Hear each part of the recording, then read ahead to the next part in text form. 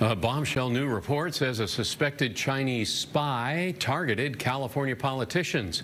And one of her biggest targets was Bay Area Representative Eric Swalwell. KPIX 5's Andria Borba live at the Chinese consulate in San Francisco to break it all down, how it worked. Andria?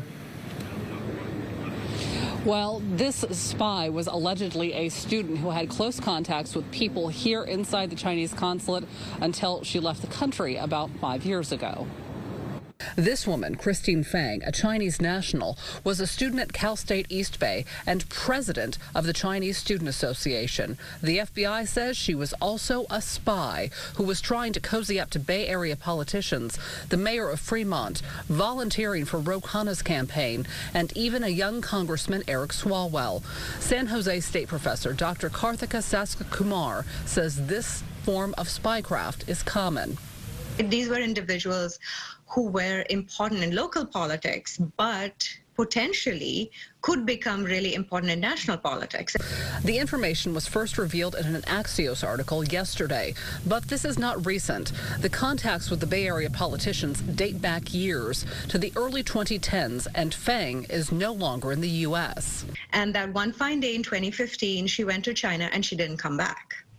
Former Fremont Mayor Bill Harrison says he got a call from the FBI on a Friday and sweated over what could have happened for an entire weekend. We don't have national secrets. We don't have special secrets. You know, what would they think about Fremont? I, I get now that, you know, from some of the reports they talk about it's a long game play. I, I get that.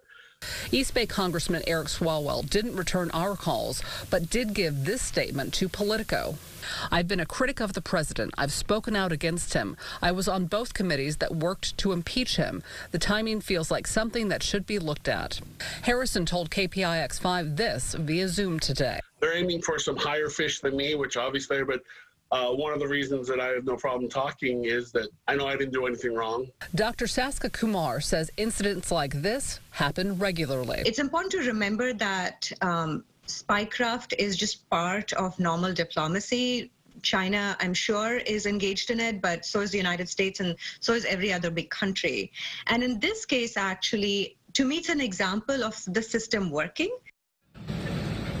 Now, in his statement to Politico, Congressman Swalwell also said that he has no plans on stepping off of the House Intelligence Committee at this point, that congressional leadership already knew about this contact with Christine Fang.